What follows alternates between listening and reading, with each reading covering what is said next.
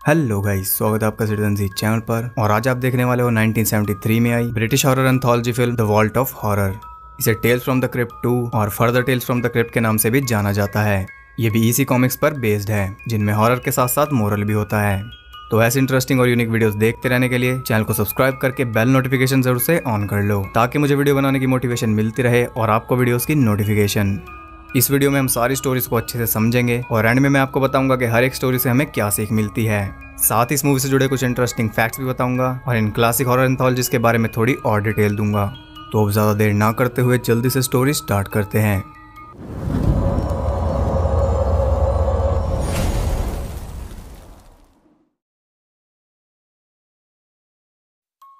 Movie start होती है London के एक मॉडर्न ऑफ़िस में, जहाँ एक एक करके पाँच लोग एक लिफ्ट में चढ़ जाते हैं। वो लिफ्ट उन्हें सब बेसमेंट में ले जाती है, लेकिन उनमें से किसी ने भी उसका कोई बटन प्रेस नहीं किया था। लिफ्ट का दरवाज़ा खुलता है और वो देखते हैं कि वो एक आलिशान रूम था, बिल्कुल किसी जेंटलमैन्स क्लब की तरह। वहाँ पर पाँच चेयर थी, जो कि इन्हीं पाँच जेंटलमैन्स के लिए थी। वो देखते हैं कि उस लिफ्ट को वापस बुलाने के लिए वहाँ कोई बटन नहीं था और ना ही वहाँ कोई दूसरा एग्जिट था। अब वो उस रूम में फंसी चुके थे तो वो उसका अच्छे से फ़ायदा उठाने लगते हैं। बातों बातों में उनकी कन्वर्सेशन सपनों पर पहुँच जाती है और उन सभी को रोज एक ही नाइट में रहता था। बारी बारी से वो सब अपना अपना नाइटमेयर बताने लगते हैं। सबसे पहले बारी आती है हैरल की, और इसके नाइटमेयर का नाम है मिडनाइट मैस हैरल दुनिया के सामने तो एक जेंटलमैन है, लेकिन असल में वो इसका बिल्कुल उल्टा है।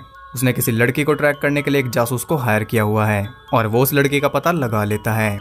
वो हैरल को उसका एड्रेस बताता है, जिसके बदले में हैरल्ड उसे पैसे देता है। लेकिन जैसे ही वो जासूस जाने लगता है हैरल्ड अपनी बैल से उसका गला घोट कर उसे मार देता है, और उसके पैसे उसे वापस मिल जाते हैं। इसके बाद वो उसी एड्रेस पर जाता है, जो कि एक दूर दराज टाउन में था। उस टाउन में पहुँचते पहुँचते उसे रात हो जाती है।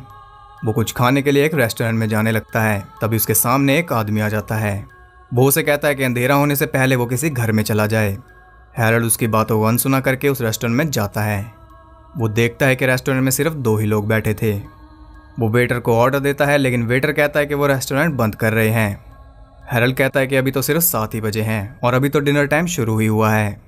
वेटर कहता है कि हम अंधेरा होने से पहले रेस्टोरेंट बंद कर देते हैं, क्योंकि अंधेरे में वो आते हैं। इतना कहकर वो चला जाता है और हैरल उससे सवाल पूछता रह जाता है। वो देखता है कि वो दो लोग भी वहाँ से जा चुके थे, इसलिए वो भी चल देता है और उसके बाहर निकलते ही वो रेस्टोरेंट बंद कर देते हैं। वो उसी एड्रेस पर जाता है और यहाँ हमें पता चलता है कि जिस लड़की को वो ट्रैक कर रहा था, वो उसकी बहन डोना है। वो डोना से पूछता है कि इस टाउन में सब कुछ इतनी जल्दी क्यों बंद हो रहा है? डोना कहती है कि उनकी वजह से। वो बताती है कि अब तक पुलिस को सत्रह बॉडीज मिल चुकी हैं और किसी भी बॉडी में खून का एक भी कतरा नहीं बचा था। डोना उससे पूछती है कि वो उसे ढूंढते हुए यहाँ क्यों आया है। हैरल्ड उसे बताता है कि चार हफ़्ते पहले उनके डैड की डेथ हो गई थी और डोना उनकी फेवरेट थी, इसीलिए वो अपनी पूरी प्रॉपर्टी उसी के नाम कर गए हैं। और अब वो ही सारी जायदाद की मालिक है, तब तक जब तक कि वो ज़िंदा है। और हैरल्ड यही मेक श्योर करने आया था कि वो ज़िंदा ना बचे। वो एक नाइफ से स्टैप करके उसे मार देता है। अब पूरी प्रॉपर्टी का मालिक वो बन चुका था। वो जल्दी से वहाँ से निकल जाता है। वापस जाते हुए वो देखता है कि वो रेस्टोरेंट खुला हुआ था और उसमें लोग भी जा रहे थे। हैरल्ड को समझ नहीं आता कि उसे ही क्यों बाहर निकाला गया। वो दोबारा उस रेस्टोरेंट में जाता है और देखता है कि वो पूरी तरह से भरा हुआ था। सिर्फ़ एक ही टेबल खाली था जिसपे वो बैठ जाता है। वेटर उसके पास आता है और वो देखता है कि वहाँ का वेटर भी बदल चुका था। अब उसे बहुत भूख लगी थी, इसलिए वो उससे ज़्यादा सवाल नहीं करता। वो उसे ऑर्डर देता है और सबसे पहले उसके लिए जूस आता है। वो जूस पीता है तो उसका टेस्ट उसे बिल्कुल भी अच्छा नहीं लगता। जूस को वापस करके वो सूप मंगाता है, लेकिन सूप का टेस्ट भी बहुत अजीब था। वेटर उसे पूछता है कि मेन कोर्स में उसे क्लॉट्स कैसे चाहिए? हेरल कहता है कि कौन से क्लॉट्स तब वेटर उसे बताता है कि ब्लड क्लॉट्स और ये सुनते ही उसका सारा सूप बाहर निकल जाता है। वो जल्दी से उठकर जाने लगता है, लेकिन वेटर उसे जाने नहीं देता। उसके सामने लगे मिरर से पर्दा हटाता है, और हम देखते हैं कि उसमें हेरल के अलावा और कोई भी नहीं दिख रहा था। जितने हैरान हम हैं, उतना ही हैरल भी था। ऊपर से वो सब उसे घेर लेते हैं और तब डोना उसके सामने आती है। उसे अपनी आँखों पर यकीन नहीं हो रहा था।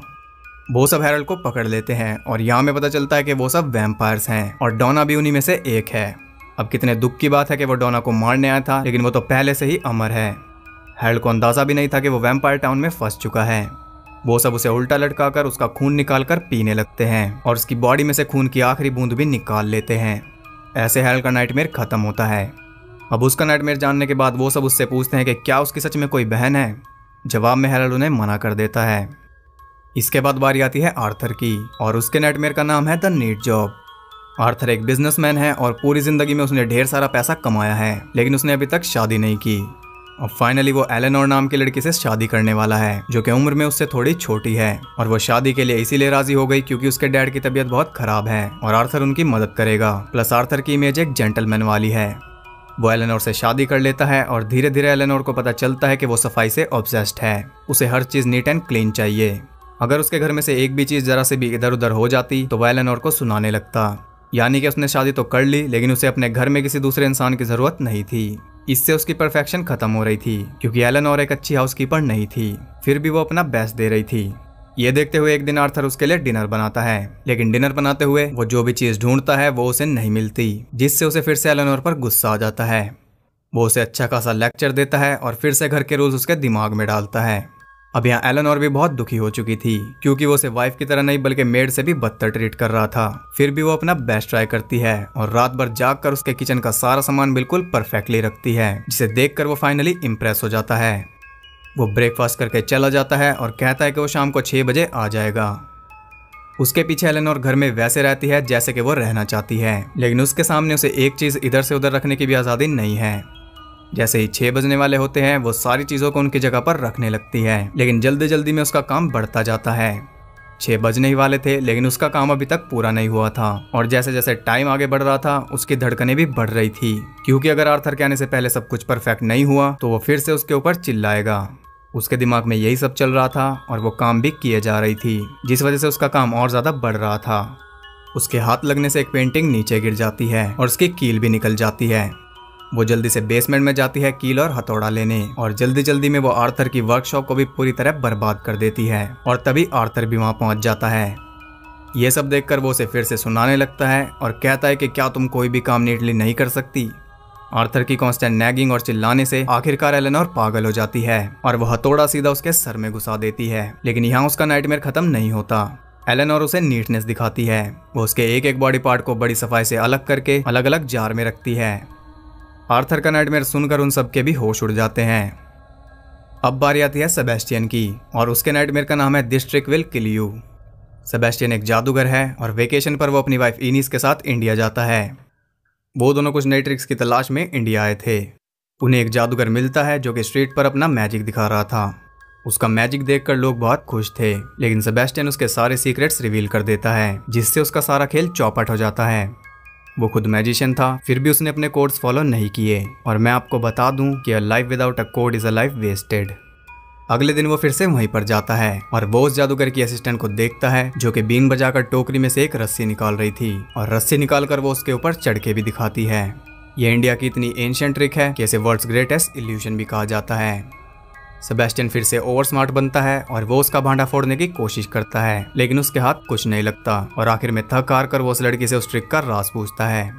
वो कहती है कि ये कोई ट्रिक नहीं है, उस रस्सी में जादू है। सेबेस्टियन उससे उस रस्सी का प्राइस पूछता है। वो लड़की कहती है कि ये सेल के लिए नहीं है, ये उसके खानदान में पीढ़ी दर पीढ़ी आगे बढ़ती जा रही है। वो उसे बहुत सारा पैसा ऑफ़र करता है, लेकिन वो उसे साफ़ मना कर देती है। तब उसे वहाँ से जाना पड़ता है। वो घर जाकर इनस को ये सब बताता है और उसकी ईगो हर्ट हो चुकी थी, इसलिए उसे कुछ ना कुछ तो करना था। अगले दिन वो फिर से उस लड़की के पास जाता है और बेचारा बनकर कहता है कि उसकी वाइफ बीमार है और वो ये मैजिक देखना चाहती है। वो लड़की उसकी बातों में आ जाती है और उसकी वाइफ के लिए वो उसके साथ चल देती है। उनके रूम पर पहुंचकर वो अपना मैजिक शुरू करती है और सेबेस्टियन रूम का दरवाज़ा लॉक कर देता है। जैसे ही वो रस्सी ऊपर तक पहुँच जाती है, वो तलवार से उस लड़की को मार देता है। उसके मरते ही वो रस्सी भी वापस टोकरी में चली जाती है। वो दोनों जल्दी से उसकी लाश को एक अलमारी में बंद कर देते हैं और खुद उस मैजिक ट्रिक को फिगर आउट करने लगते हैं। उन्हें पता चलता है कि मैजिक उस बीन में है। उसे बजाने पर ही वो रस्सी बाहर निकलती है, लेकिन वो बिल्कुल गलत थे। उन्हें उनकी परफेक्ट मैजिक ट्रिक मिल चुकी थी, जिसके लिए वो इंडिया आए थे। इनस उस रस्सी पर चढ़ती है, लेकिन जैसे ही वो ऊपर पहुँचती है, वो चिल्लाने लगती है। मानो उसे कोई दिख रहा हो, और अचानक वो गायब हो जाती है। उसके गायब होने के बाद सीलिंग पर खून छप जाता है। सेबेस्टियन जल्दी से वहाँ से भागने लगता है, लेकिन वो रस्सी उसे भागने नहीं देती। वो उसकी गर्दन पर लिपट जाती है, और ये सब उस लड़की की लाश भी देख रही थी। लेकिन हम देखते हैं कि उस रस्सी ने सेबेस्टियन को फांसी पे लटका रखा था, और इसे कंट्रोल कर रही थी वही लड़की, जो कि उस जादूगर के पास बैठी थी, और ये था सेबेस्टियन का नाइटमेयर उसकी शक्ल देखकर वो सब कहते हैं कि क्या तुमने कोई भूत देख लिया? और यहाँ में जवाब मिल जाता है कि जो लड़की जादूगर के पास बैठी थी, वो भूत थी। इस कॉन्सेप्ट को मैं आपको ज़्यादा डिटेल में नहीं समझा सकता, क्योंकि ये वीडियो फिर 40 मिनट से कम नहीं होगी। अभी आप सिर्फ़ इतना जान लो कि एंशंट इंडिया का मैजिक सिर्फ़ इल्यूजन नहीं होता था। उस वक्त जादूगरों के पास सच में भूत प्रेत होते थे। तभी उनसे आम लोग बहुत ज़्यादा डरते थे। इसके बाद बारी आती है मेटलैंड की, और उसके नाइटमेयर का नाम है बार्गेन इन डेथ मेटलैंड ने बहुत चलाकी दिखाई, और उसने अपने दोस्त एलेक के साथ मिलकर एक स्कैम प्लान किया। उसका प्लान ये था कि वो एक केमिकल अपने अंदर इंजेक्ट करेगा, जो उसके मेटाबॉलिज्म को बहुत ज़्यादा स्लो कर देगा और कोई भी डॉक्टर उसे डैड ही समझेगा। और जैसे उसका डेथ सर्टिफिकेट बन जाएगा, वो इंश्योरेंस का पैसा लेकर कहीं दूर चले जाएँगे। एलेक्स का काम यह था कि वो डेथ सर्टिफिकेट लाने के बाद मेटलैंड को उसकी कब्र से बाहर निकालेगा और वो दोनों पूरी ज़िंदगी ऐश करेंगे। प्लान के मुताबिक वो उस केमिकल को अपने अंदर इंजेक्ट कर लेता है और चैन की नींद सो जाता है। अब ये उसका परफेक्ट प्लान था, लेकिन इसमें कुछ गड़बड़ होने वाली थी, क्योंकि उसके पड़ोस में टॉम एंड जेरी नाम के दो लड़के रहते थे, जो कि बायोलॉजी पढ़ रहे थे, और अपनी स्टडीज़ के लिए उन्हें एक रियल बॉडी पर प्रैक्टिस करनी थी। और अगली सुबह जब मेटलैंड डैड मिलता है तो उनकी बॉडी की तलाश भी पूरी हो जाती है। वो रात को उसकी कब्र पर जाते हैं और एक ग्रेव डिगर को पैसे देते हैं, जिसके बदले में वो उन्हें मेटलैंड की लाश देगा। वो उसकी कब्र खोदने लगता है और मेडलैंड सोचता है कि एलेक्स उसे निकालने आ गया है। लेकिन एलेक्स तो उसे धोखा देकर शहर से जा रहा था और किस्मत से वो उसी कब्रिस्तान के आगे से गुजरता है। तभी वो उसकी कब्र खोद कर उसे बाहर निकाल लेते हैं और उसे ज़िंदा देखकर वो दोनों सोचते हैं कि वो कोई भूत है। वो दोनों जल्दी से वहाँ से भागते हैं और एलेक्स की कार के सामने आ जाते हैं। उन्हें बचाने के चक्कर में एलेक्स की कार क्रैश हो जाती है और वो मर जाता है। वो ग्रेव डिगर उन्हें आवाज़ लगाता है। उन्होंने उससे मेटलैंड की लाश मांगी थी और वो उन्हें लाश दे देता है। उन सबको समझ नहीं आ रहा था कि वो मेटलैंड के ड्रीम पर हंसे या उसके लिए बुरा फील करें। अब बचा था मूर और उसके नाइटमेयर का नाम है ड्रॉन एंड क्वार्टर्ड मूर एक पेंटर है और अभी वो एक आइलैंड पर है। उसे पता चलता है कि उसकी पेंटिंग जो कि डिल टेंट और गैस ने उसे बहुत कम प्राइस पर खरीदी थी आर्ट क्रिटिक फ्रेंटन के साथ मिलकर उन्होंने उसे बहुत हाई प्राइस पर बेचा है। मूर को बहुत बुरा लगता है, क्योंकि उन्होंने उसके साथ धोखा किया। वो एक वूडू प्रीस्ट के पास जाकर उससे मदद माँगता है। वो प्रीस्ट उसका हाथ खोलते हुए पानी में डलवाता है, जो कि उसे बिल्कुल भी गर्म नहीं लगता, और इसके बाद वो उसे वापस भेज देता है। वापस आकर भी वो बहुत परेशान था, क्योंकि उसकी प्रॉब्लम का हल नहीं निकला था। वो अपने सामने रखे वेस की एक ड्राइंग बनाता है, जो कि उसे कुछ खास पसंद नहीं आती, इसलिए वो उसे फाड़ कर फेंक देता है, और जैसे ही वो उसे फेंकता है, वैसे उस वेस के भी टुकड़े हो जाते हैं। उसे यकीन नहीं आता कि यह कैसे हुआ। वो फिर से ट्राई करता है। इस बार वो सामने पड़े ब्रेड की ड्राइंग बनाता है और उसे हल्का सा इरेज कर देता है। तभी एक चूहा आता है और उस ब्रेड को उतना ही खाकर चला जाता है। अब वो इसे खुद पर ट्राई करता है। वो अपने पोर्ट्रेट पर एक हल्का सा रेड मार्क बना देता है, लेकिन उसके साथ कुछ नहीं होता। वो सोचता है कि ये इंसानों पर काम नहीं करता और थक हार कर वो सो जाता है। रात को अचानक उसे बेचैनी होने लगती है और वो अपने बेड से नीचे गिर जाता है। वो सीधा उसे टूटे हुए वास पर गिरता है, जिससे उसके फेस पर वैसा ही कट लग जाता है, जैसा कि उसने अपने पोर्ट्रेट पर लगाया था। अब उसे उसकी प्रॉब्लम का सोल्यूशन मिल चुका था।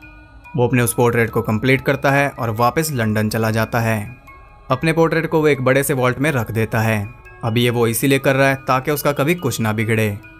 इसके बाद वो उन तीनों के पास जाता है, जिन्होंने उसके साथ धोखा किया था और उन्हें वार्निंग देता है कि वो उनसे बदला लेगा। उसकी बात सुनकर वो सब हंसने लगते हैं। वो वापस घर आता है और उन तीनों के पोर्ट्रेट तैयार करता है। सबसे पहले वो फैंटन के पास आता है, जिसने उसकी पेंटिंग का झूठा रिव्यू दिया था और वो ये मेक श्योर करता है कि वो दोबारा कोई रिव्यू ना दे पाए। वो उसकी आँखें फोड़ देता है।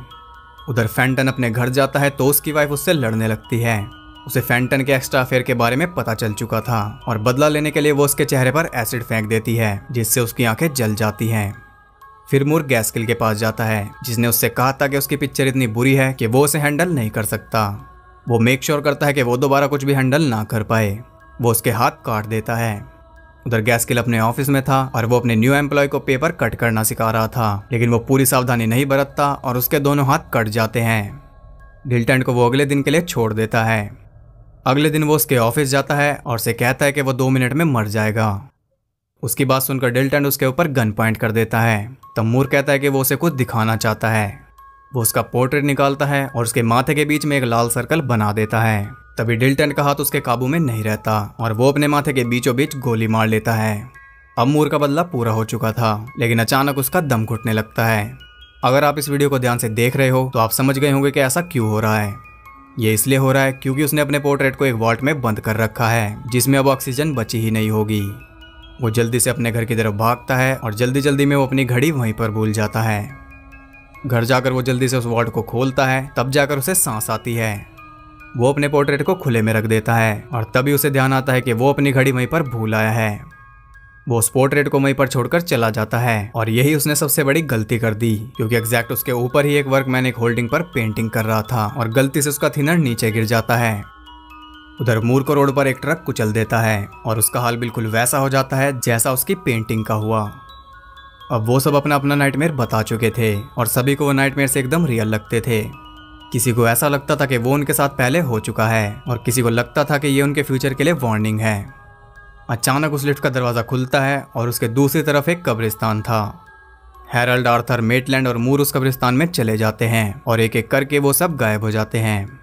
सेबेस्टियन बताता है कि वो सब डैम सोल्स हैं और उन्हें हर रात वापस आकर अपने बुरे कामों के बारे में बताना पड़ता है और इस लूप में वो इटर्निटी के लिए फंस चुके हैं। सेबेस्टियन पीछे मुड़ता है और हम देखते हैं कि वो जेंटलमैन्स रूम एक क्रिप्ट बन चुका था और सेबेस्टियन भी उसमें गायब हो जाता है और यहाँ ये मूवी एंड हो जाती है।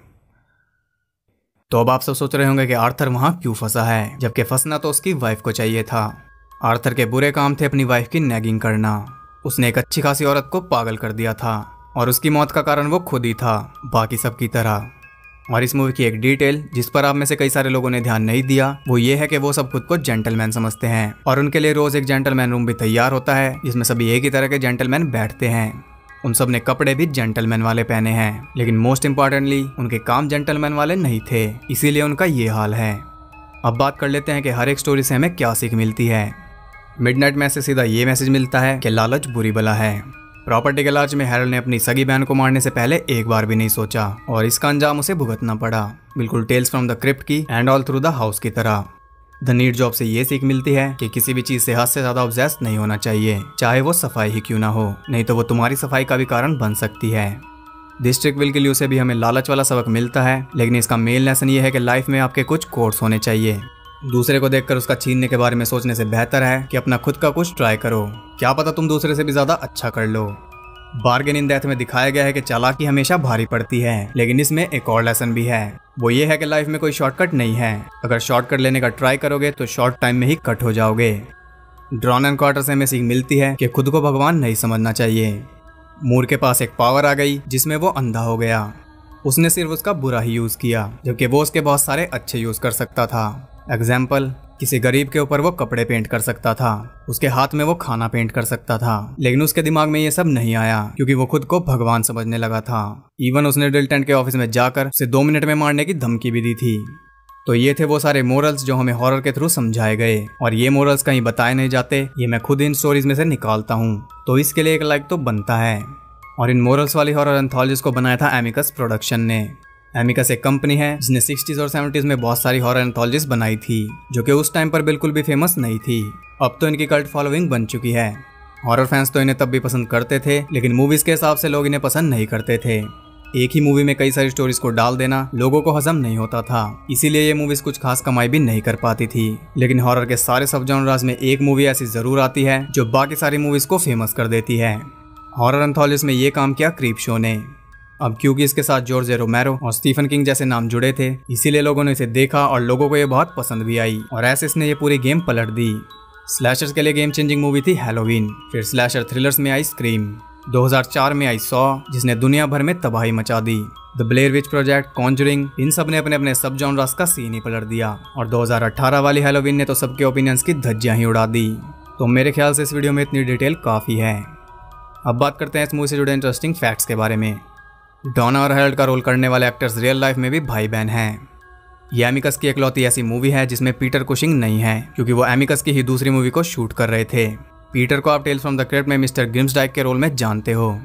जो टॉम एंड जेरी हमें इस मूवी में दिखाए गए हैं, वो एक बहुत ही famous British TV comedy show doctor in the house के स्टार्स थे, और उसमें भी उनका सेम ही रोल था।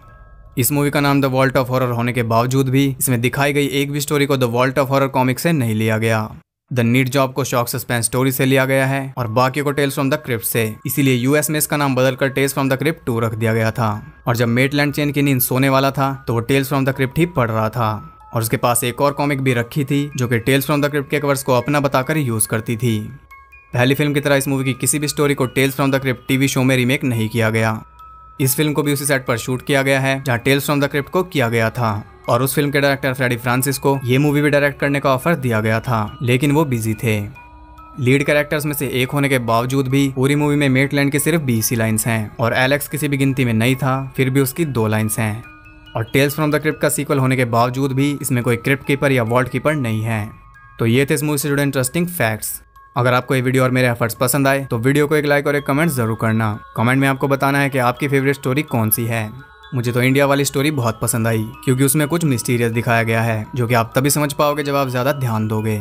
और ऐसी यूनिक और रेयर मूवीज़ देखते रहने के लिए चैनल को सब्सक्राइब करके बेल नोटिफिकेशन को ऑल पर सेट कर लो। ये मूवी यूट्यूब पर भी अवेलेबल है तो आप इसे आराम से देख सकते हो।